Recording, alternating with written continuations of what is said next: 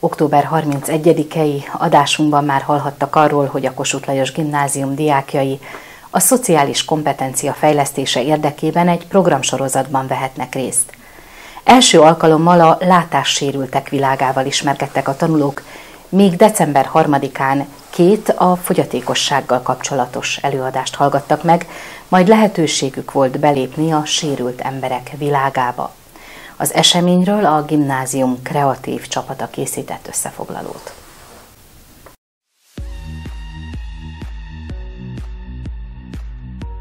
Nagyon sok szeretettel köszöntelek benneteket. Szociális kompetencia fejlesztése, fogyatékossággal élő sajátos nevelési igényű diákok iránti érzékenyítés című pályázatunk második közösségi programján. Mind a pályázat megírásával, illetve a pályázathoz kötődő programok megvalósításával az volt a fő célunk, hogy ti diákok empatikusabb, segítőkész felnőtteké váljatok. Szeretnék fölhívni a figyelmeteket a fogyatékosság típusaira, leszögezni azt, hogy a fogyatékosság nem betegség, hanem állapot. Próbáltuk a programjainkat, illetve a módszereinket bővítve rávezetni arra hogy hogyan tudtok segíteni ezeken az embereken, hogyan tudtok, milyen módszerekkel helyesen segíteni. A mai alkalommal a vendégeink segítségével a fogyatékosság típusaiba kaphatok egy kis bepillantást, illetve a mai napon már kaptatok olyan eszközöket, dulószéket, járókeretet, amivel megtapasztalhattátok ti is, hogy mennyire nehéz vagy könnyű társadalom tagjaként részt venni, fogyatékosként élni a mindennapokat. Úgyhogy szeretettel köszöntöm a mai nap két előadóját, Hőz Andreát, a Debreceni Református Egymi Tiszafületi Tagintézményének vezetőjét,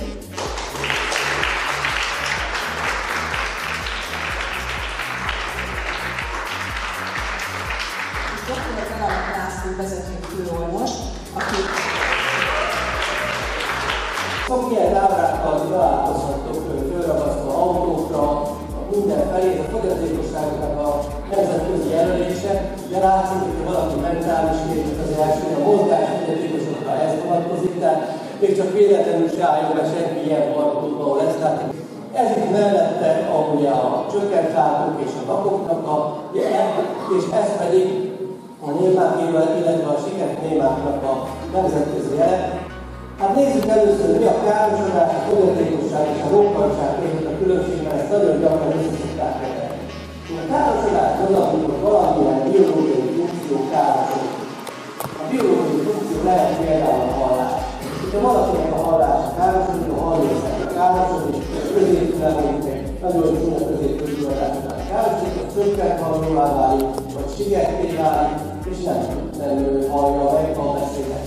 Ha valakinek mondjuk a beszédek károsodik, vagy a beszédmozgató részek az agyában, vagy pedig a nyelve, egy betegség miatt elvesztette a nyelvét, hát akkor azzal, hogy odafigyeltek rá, hogy írva kommunikáltok vele, és veszitek a fáradtságot, hogy fontos legyen az, ami nektek mond, és érdemben reagáltok rá, azzal nem zárjátok ki a társadalmásból, nem zárjátok ki a családból, és nem zárjátok ki egyáltalán a mindennapi életből, és egy, egy, de azt nem mondom, hogy teljes ö, értékűnek érzi magát, mert ez nagyon nehéz, de legalább érzi azt, hogy tartozik és kötődik valahova. Ezt szeretném, ha hazavinnétek üzenetként. A fogyatékosság nem mindig látható, de a reakció igen. A rokkantság ott kezdődik, hogyha meglátsz egy ilyet, és elborzadsz, és kiül a borzalom meg a sajnálkozás az arcodra. És tudjátok, hogy a koponya sérültek részlegén, meg a gerincfelől sérültek részlegén legalább felében hány éves korú emberekkel találkoztam? 19-20 évesekkel, majdnem a tikorosztályokkal.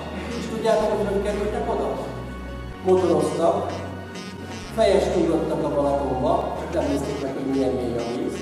Volt, aki úgy ugrott fejest, hogy valahol mint egy csónakról, ez mind a Tiszatónál is halmozottan így van. És a harmadik, hogy diszkóval esett. Volt ott egy nagyon régóta ápolt, nagyon rossz állapotú ember, akit már nem látogatott A szempilláján kívül semmilyen nem mozgott.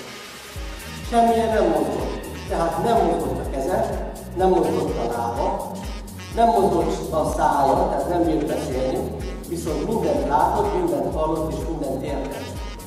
Mit csináltak a szülők? Egy darabig tűrték, hogy ötöden a kórházba, majd kigondolták, hogy Úristen, itt rosszul kezelik ezt a gyereket, vigyük Németország. És utána fogták szépen és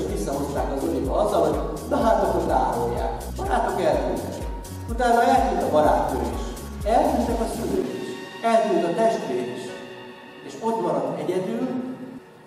Ez egy nagyon extrém példa volt, de egy valóságos példa. Tehát mit tehetsz, hogy ne legyen valaki fotókkal fogyatékos? Szállj rá időt, hogy személyesen megismer. Sokszor ez nehéz, de szállj rá, keresd meg a kommunikációs csatornát, erre nagyon jó videó lesz Kezel teljesítő